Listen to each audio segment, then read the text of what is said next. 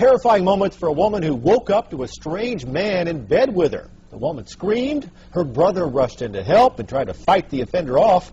That break-in happened early this morning in the 500 block of Webster Drive in Huntsville. WAFF 48's Elizabeth Gentle caught up with the victim. Elizabeth, emotions were running high. And Mark, the woman, the victim, tells us that a man broke into her house and tried to rape her. Her brother Uh, went in and he tried to help her out, but the man got away, leaving behind, though, evidence of his visit.